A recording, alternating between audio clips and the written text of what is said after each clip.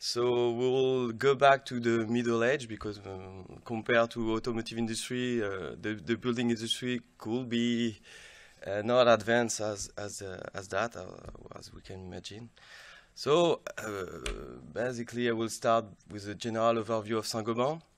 Maybe you know Saint-Gobain, or some of you know this company, which is a pretty old company, uh, really old company. It, it, has it has born more than 350 years ago.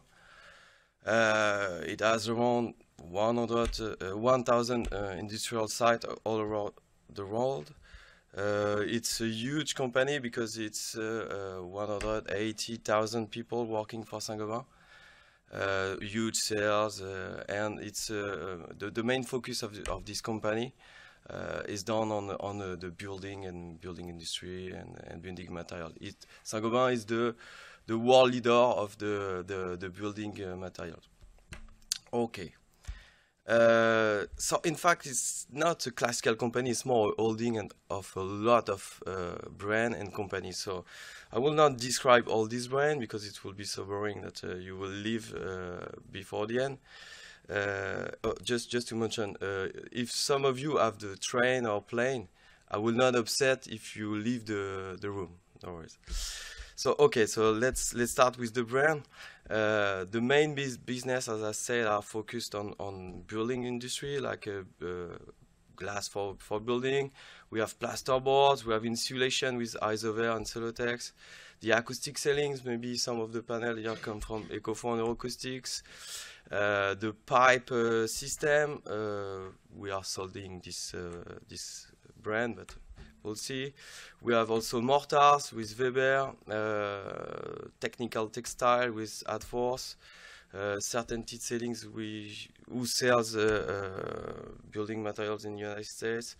We have automotive glazing with Sekurit, abrasive with Norton, Winter and so on. I'm not sure to, to know all the brand of Saint-Gobain. And we have also uh, distribution or service brands like uh, Point for the French people, uh, Jewson for the uh, United Kingdom, or like La Plateforme du Bâtiment in Europe. So, and so on and so on. But today we just focus on plasterboards and mineral wool, which are the main components of uh, the uh, building insulation systems. Okay. So here is the, the agenda. Uh, I will start by a global introduction so on the, the problematic of, of uh, uh, building acoustic and why acoustic matter in building. I will do you uh, a short uh, summary of uh, or reminder for, for certain people of what is what are the standard measurements in building acoustics it's really important because uh, a lot of the, the, the, product and the sellings are based on these standards and the, also the development are based on this. So it's important to understand that because you are scientists and you will see that it's not science at all.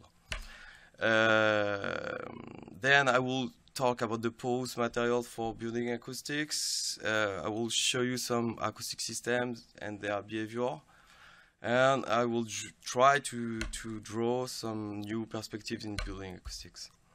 So why acoustic matter in building? Uh, you have uh, heard of uh, environmental noise and it's, it's important to, to know that now environmental noise is more and more uh, considered by our politicians as a public health problem. Uh, so the environmental noise is the unwanted or harmful outdoor sound created by human activities, including noise from road traffic, rail traffic, airports, and industrial, sites. So you have to know that two-thirds of uh, French people complain about noise at home and find that it's uh, the main source of uh, disturbance. Uh, it's the same figures for the working place. And in the last decade, we've seen a lot of, uh, of studies dealing with uh, uh, health impact, epidemiology, and so on. So just uh, just to say that the environmental noise are serious cause of sleep disturbance. Uh, it can have a serious impact on health, on uh, quality of life. You can have immediate, immediate effect Like for me, last night the hotel is just in front of a construction site, and I've been wake up at uh, four in the morning, so that's why I have this uh, kind of uh, face. Um, you have after effect, sleepiness, uh, daytime performance. Uh, I mean, uh, when you're falling asleep, it could be due to noise during the night. Why not? I hope so. If I see someone sleeping, I would say yeah, it's due to noise during the night. And it can it can have also long-term effects which are much more uh, in, impacting, like uh, uh, air, earth effect, earth attack, and, and, and so on. You have a serious study that has been done in, in 2011 by the World uh, Health Organization saying that you have around 1 million life, year life that, that, is, that are lost in Europe due to the noise disturbance. Okay, so you understand acoustic matters in buildings. So reducing noise at the source is not enough. Mm, you have seen the presentation about cars, so it's clear that we try to reduce the, the noise, but you have more and more cars. Maybe this uh, assumption will be not true with, uh, in the future with the electric car, but okay. Uh, it's clear uh, uh, that noise pollution is increasing in, in all the city. Mm. The building insulation have an important impact on the noise level perceived by people due to the fact that it's the last uh, envelope, the last protection that you, you can have. You can have environmental noise, but also the noise from the neighbor. Sometimes the noise from the neighbor are more uh, difficult to to to intend or to to support that that the, the noise from the, the external noise because it's a social noise. So the urban population density is clearly clearly increasing in all the city and uh, noise reduction and acoustic insulation are now considered as a part of sustainable development by Europe. Okay. Hmm. So let's start with the standard measurement in building acoustics. I will uh, do or draw the difference, uh, explain what is sound uh, and soundproofing and, and, make some difference. It's, it's the real basics you have listened that maybe uh, four, five, uh, six times during these two days, so I will not stay uh, stay on this, but it's a part of the learning to repeat. Huh?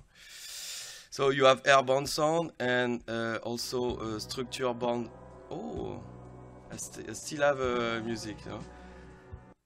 which is Pink Floyd. Yes, perfect. And structure-borne borne sound.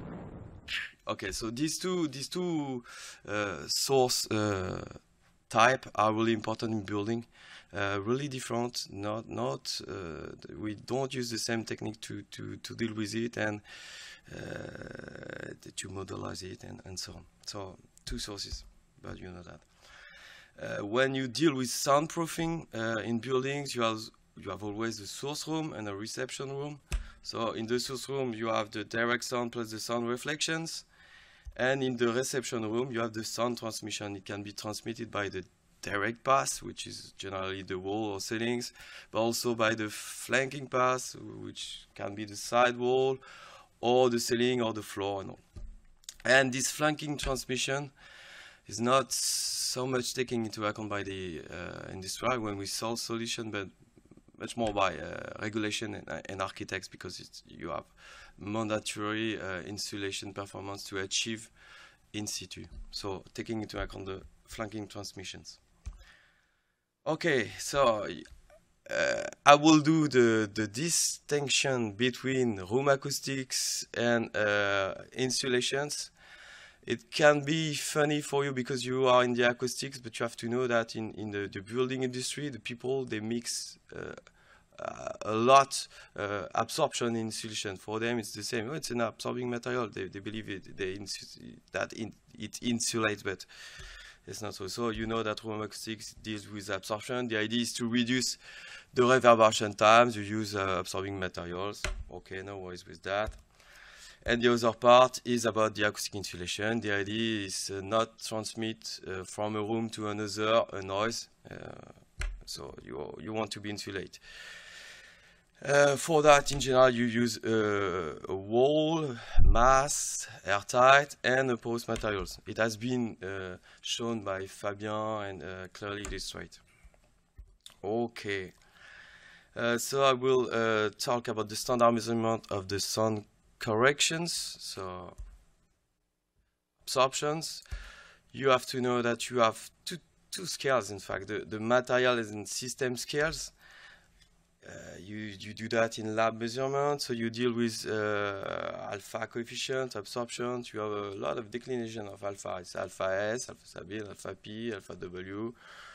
Uh, you you know you have to, to deal with the, the surface and you are able to calculate an equivalent absorption. Now when you are the room scale, so in situ, you are more interested in the reverberation times, uh, the room equivalent absorptions, maybe the sound level inside, because uh, if you don't have uh, any absorption, or bad absorption like in most of the restaurants you will have a, a huge uh, acoustic level we would make you talk louder and you have more and more level and so on. Okay and the speech clarity which are the, the, the some indicators about uh, about the, the, clarity of the talk. So you know how is measured the reverberation time or what is the reverberation times it's one of the bases. Okay, it's the time that take a sound to decrease of 60 dB. Yes, so you do that uh, on the frequency range. You can use uh, uh, sound source like, uh, I mean, uh, white noise uh, source or a gun or with some new application, the telephone, you you do like that. Oh, it's a bit uh, sorry, and you uh, and and you um, analyze that and result. So it's important because it's the base of the calculation um, used in, ISO 354 uh, that do the calculation of the alpha Sabine. You know, for that you use a reverberant room. You assume that it's a diffuse field. So it's a huge uh, hypothesis, and then you do the measurement in the empty room with the, so you, you, you measure the uh, reverberation times, you are able to calculate the uh, equivalent absorption area. Then you do the same measurement of reverberation time with uh, samples of 10 square meters. Uh, and knowing these second reverberation times, you are able to calculate the alpha S, knowing the uh, surface of your sample. So it's really classic. You are obtain this kind of certificates, classical absorption curves regarding frequency. Uh, this is normal. What is more funny is that uh, you have uh, frequency dependent uh, uh, properties and the uh, marketing guys, industrial guys, they, they prefer single value number. So for that you use the double U weighting how do you do that? So you use the ISO uh, 11654 and what you do is from the alpha S defined in third octave band, you calculate the, oh, the alpha P, which is the mean value of the three value of the third octave band for each octave band.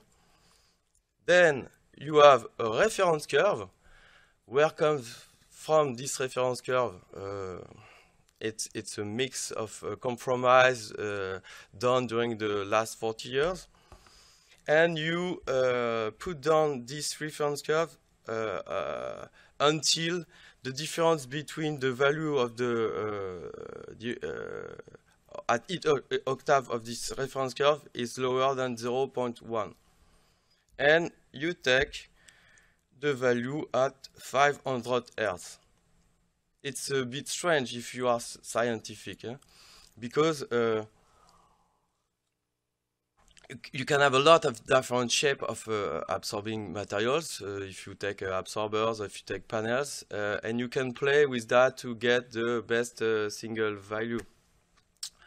It's a bit strange, and you can notice that you, you don't have any input on the low frequency.